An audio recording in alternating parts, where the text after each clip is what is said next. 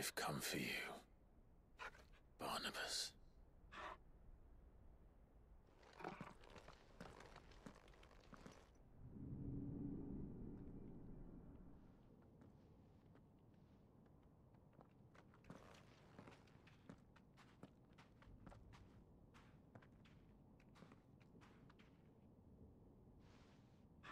Stay close,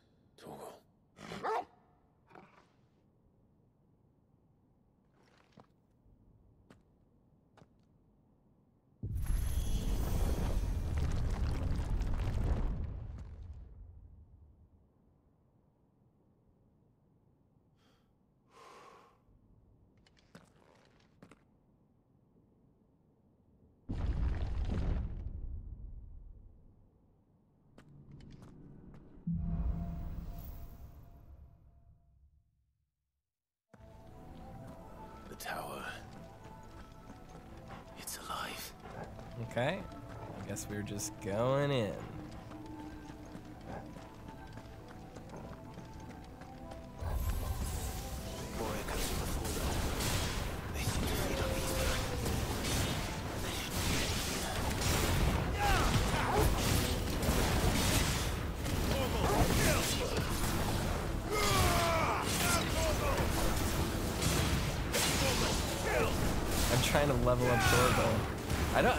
I, just can't tell how much longer the game is.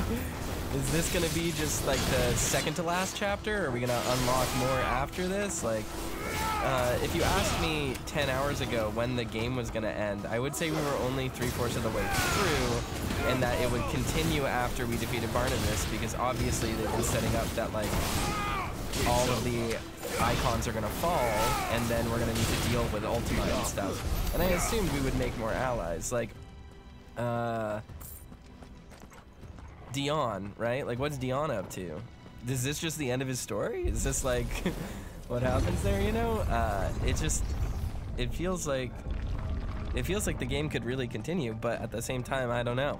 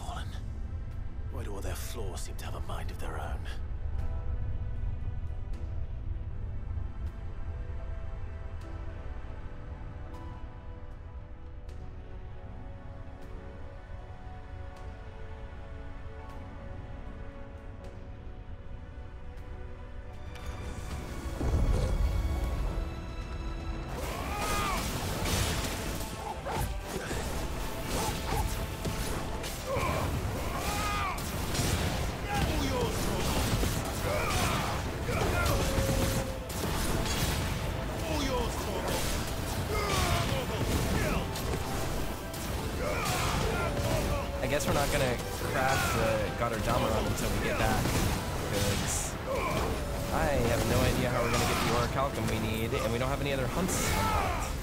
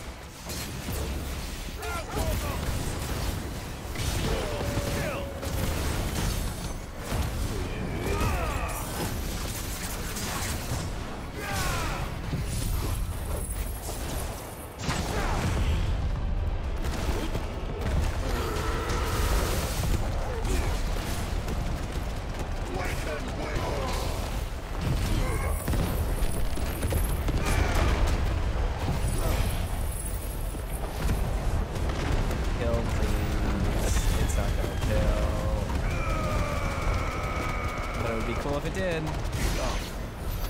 Did it? Oh, it did. Right at the end of my limit, too.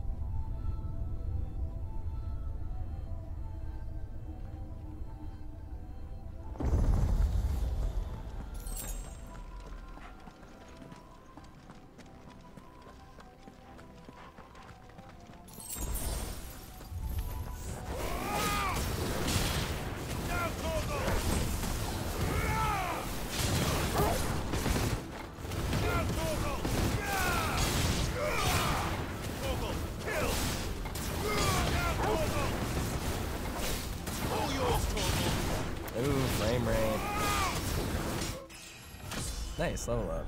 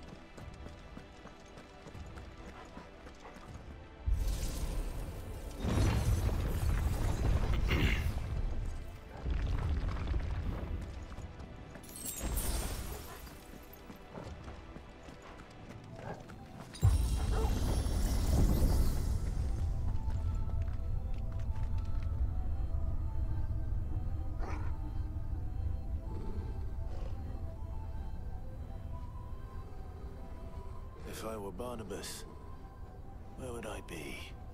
The top. So I could look down on the world.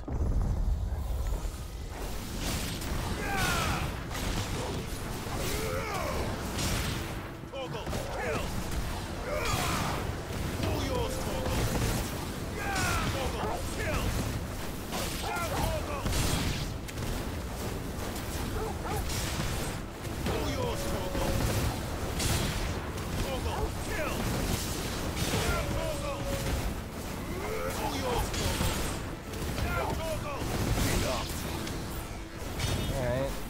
enough. grab that healing. That's not healing, that's worried. Green should always mean healing. I should never be confused about that.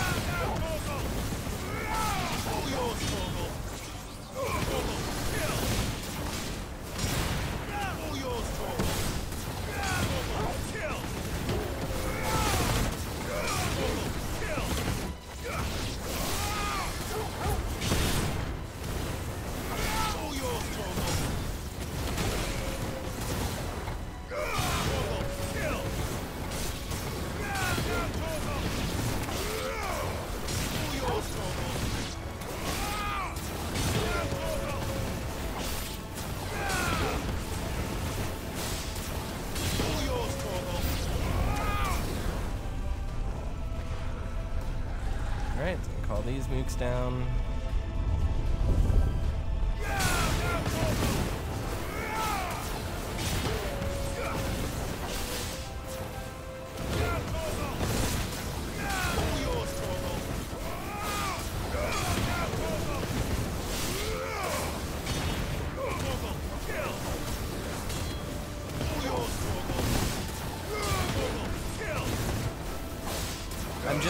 Same attacks over and over again so I can get as many precision uh, ravages as possible.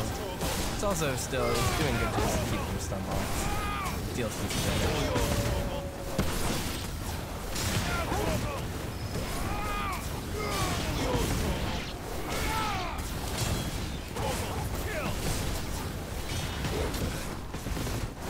You know what? I probably need to use arcade mode, a mode that I touched once and forgot about, uh, in order to get some of the the stuff to fuse the Down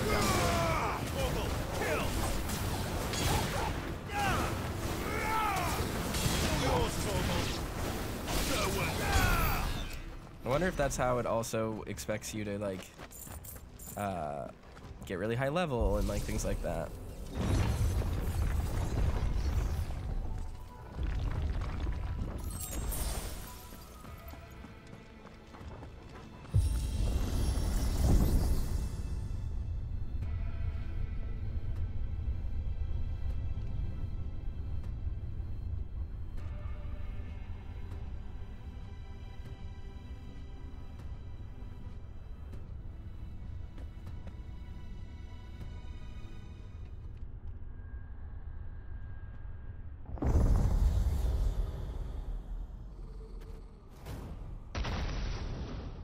Was that weird sound effect?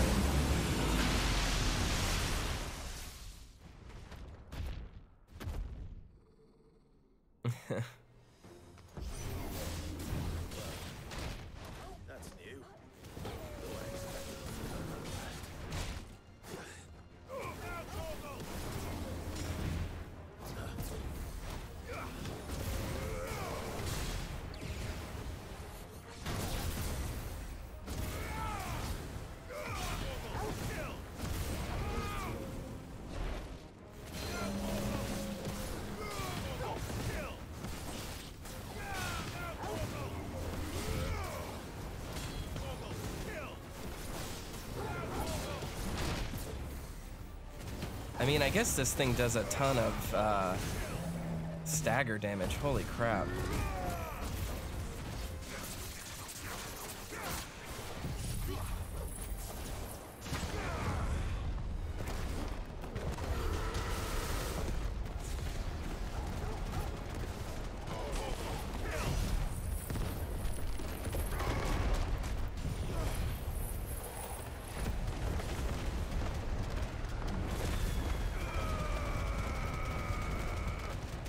Not really healing me at all.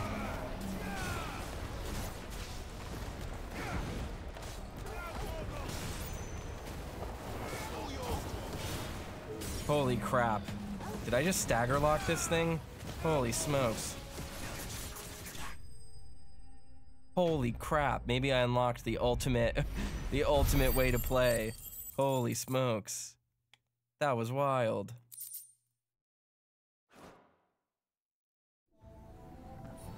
Was that thing?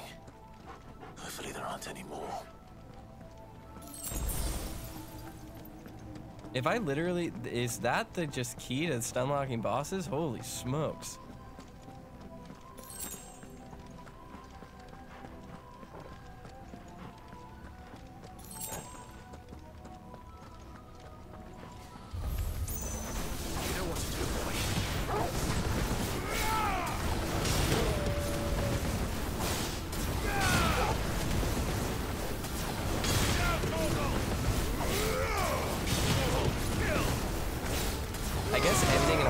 Knockdown makes sense because it keeps him down. So it probably does, uh, it's probably good for my crowd control. There we go. I don't know why it's still giving me war right. Like, what is even the point? That way.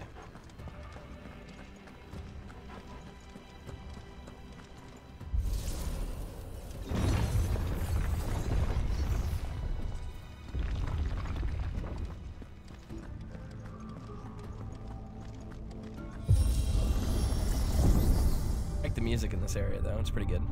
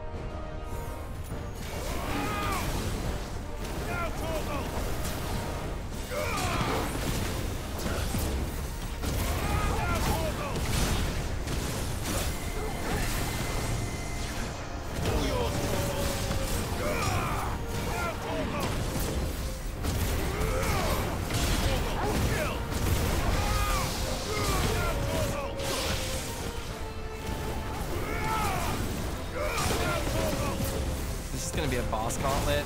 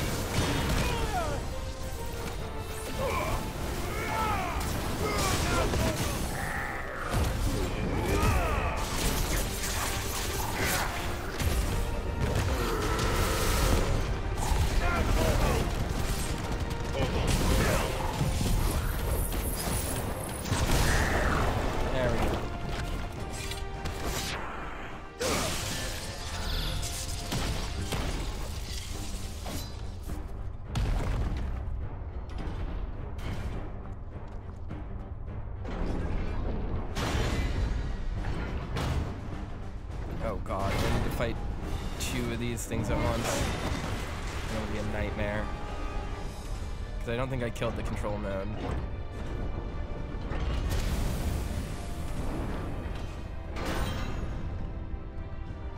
What's one more, eh, Torgal?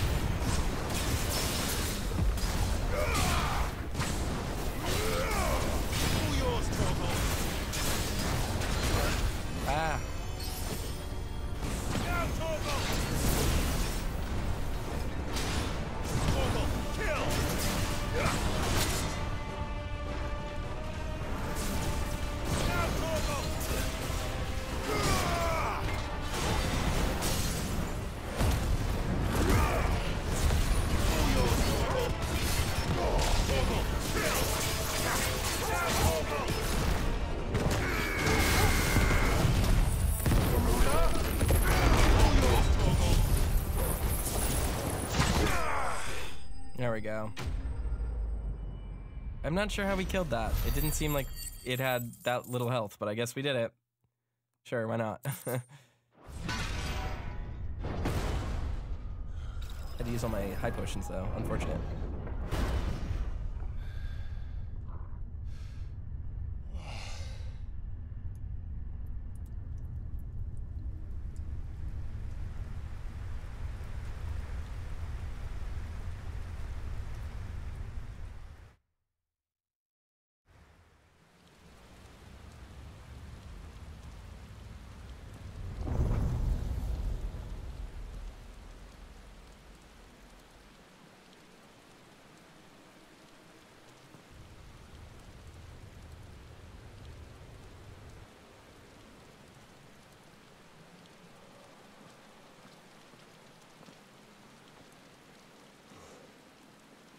Almost there.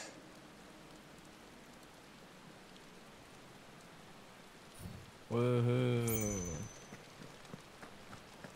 A potion, potion. Nice. Alright, well that was a kindness, I suppose, for the game to give us that.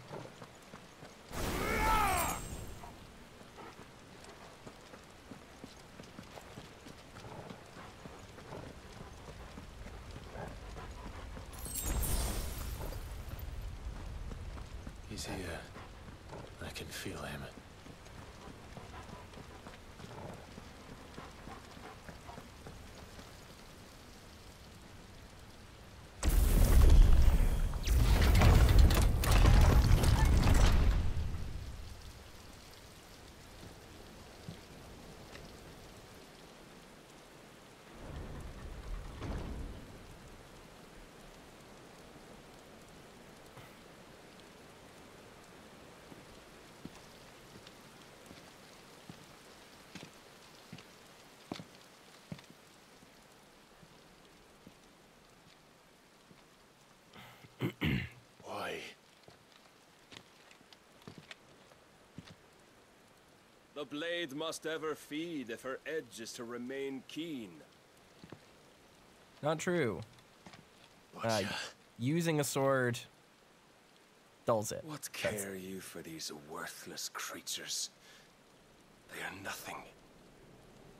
Weak from the moment of their conception, ever longing for power not theirs to command, they turn unfailingly upon themselves.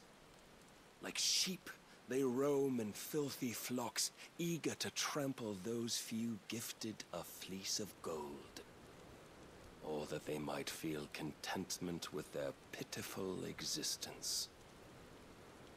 Prejudice and persecution, severance and strife, every earthly wrong springs from the malice in men's hearts. Malice born of the pain and suffering that is free will. Its corruption is gnawed at your being from the very moment of your birth. You're wrong. It is no corruption. It is who I am. Every choice I make, right or wrong, gives me reason to carry on. And carry on I shall.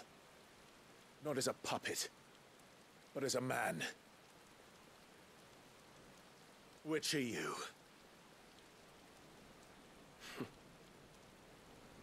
There was a time I too thought those the only choices. What? Long ago, God granted man the gift of magic. And with that gift did he build great civilizations. Yet over time, man lost sight of the gift's true meaning, stepping from the path of shared prosperity to one of avarice. He abandoned his creator for sword and flame, and through his folly, beckoned the blight. Yet, there were those few who refused to turn their eyes from the heavens. And they prayed to God that he might lead them back to righteousness. And the Lord, he did answer. Before the worthy shall the gates of paradise open. So did I spread my arms to the ether and cast my soul upon its gentle waters. I gave myself unto him.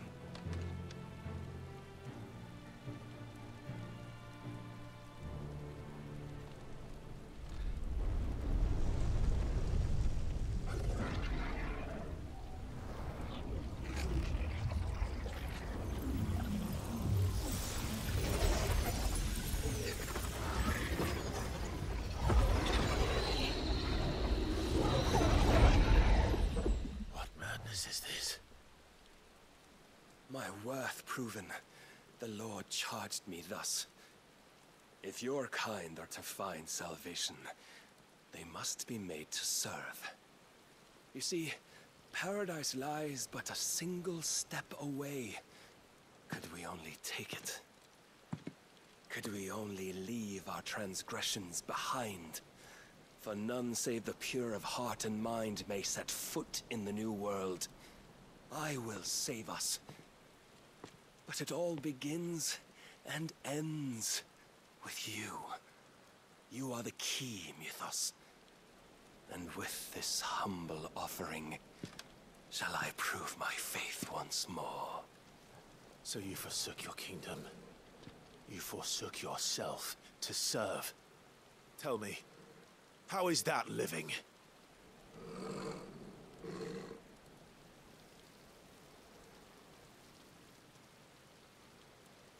What you seek to provide is not salvation. It's anything but. Life is about always having a choice. Take that away, Is it? and we might as well be dead. I don't. I'm all about free will and all that, but I just don't think. There are plenty of situations when you don't have a choice, and that's like, okay, that's part of life. I'm not saying that this is one of those moments, but Clive's worldview, just like when you think about it and interrogate it, doesn't really make much sense. Very well. Come then. Show us the strength of your will. It's not the strength of my will that should worry you, but the weakness of yours.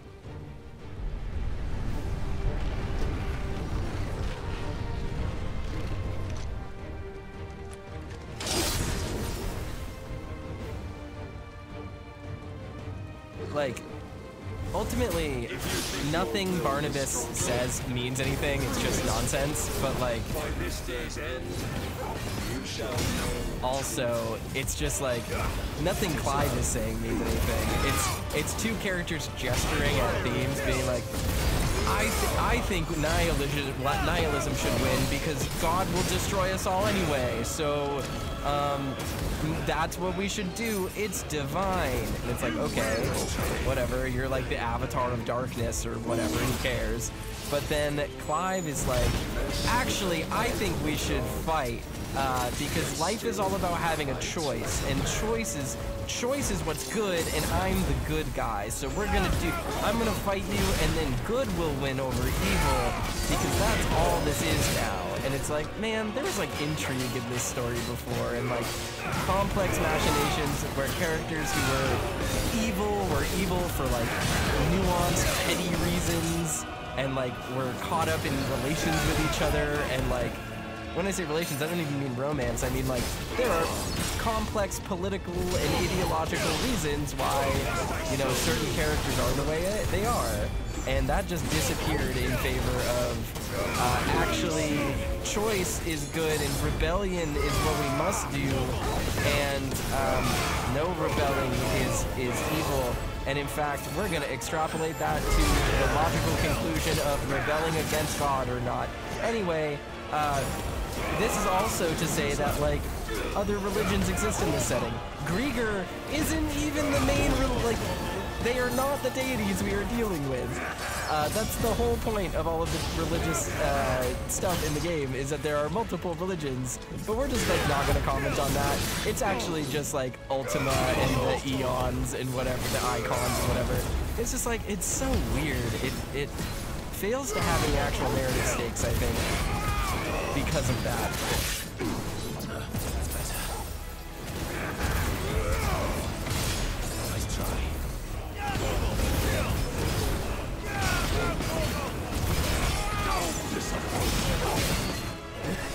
He's not actually doing much damage to me.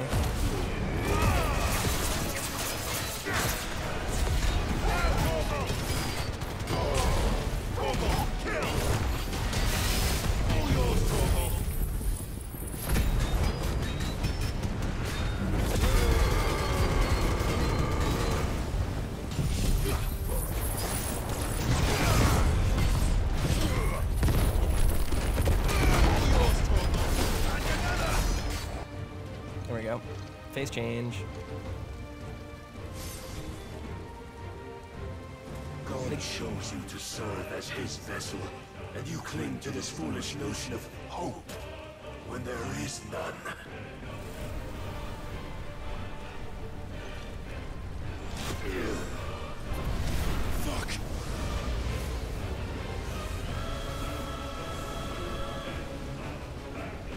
And like this is this is another good example, but like stories like to cling to this idea of like hope versus hopelessness, hope versus nihilism, you know, stuff like that.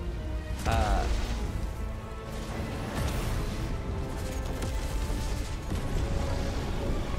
uh, hope versus nihilism and stuff like that, but like it's just the the thing with this stuff We can begin! and the the reason why nihilism is one such an ideological trap but two such like a, a, topic of debate among philosophers is that there's like there is a nuanced degree of like things to discuss and consider when talking about topics of nihilism nihilism is not all about like God said that you're the divine one, so you have to ascend to heaven. Nihilism is literally about the lack of meaning and the lack of agency in the world. And while obviously fate implies that there is no agency, we know that characters have free will and that characters are like acting out. So even if you're condemned to a fate, that doesn't mean you don't have agency outside of that fate. So a lot of this stuff You falls flat. been shown the path. Now you must follow it. A lot of this stuff falls flat yourself, Mythos. because You will not defeat me otherwise. Barnabas and Clive's world perspectives on hope and and destiny and like the lack of agency don't actually match up with the world that we've seen in this game so far and don't actually match up with the conflicts that have been built up and have been made interesting. Like all of the intrigue at the beginning is basically unrelated to all of this, which is a bummer because like obviously we had uh, what's her name uh, fostering the child of Ultima basically, but like that ended up not really mattering at all in the grand scheme of things. Like that, the fact that that plan failed should prove that. Uh, that that free will exists and that fate isn't a condemnation. It's not something you just have to live with. Uh, because we beat what that person was doing, and like you know, his uh, idea of godliness is not immutable. Um, which is fine, you know, I'm not saying it, it needs to be, but there needs to be something behind Barnabas's logic for him to feel like a well-written character and like a character with an actual ideology besides like, we're gonna make him nihilistic because that's evil, you know? Um, because his nihilism isn't actually rooted in anything, it doesn't make any sense given the character that we've been uh, dealing with. Uh, and without getting into spoilers for a game that we're not talking about here, but like this game is by the Final Fantasy XIV team, and Final Fantasy XIV by the end is a very, very well written game. Um, but the whole time that game existed, it had a really big problem in the form of a character named Zenos, who was equally just an anime villain with no ideology, who sometimes vaguely motions towards topics of nihilism, but like again, his actual like ideology isn't that at all, and doesn't have any uh, standing in the game itself or like the game world that we have seen portrayed. And they just have to hold on to that character's baggage until basically the end.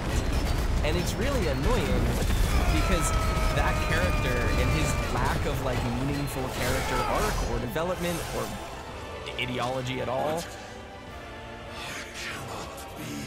drags down a story that's otherwise really thematically potent. You admitted defeat the moment you turned your back on us. See, like that doesn't mean anything. When you turned your back on the truth, Barnabas. We are not as weak as your god believes.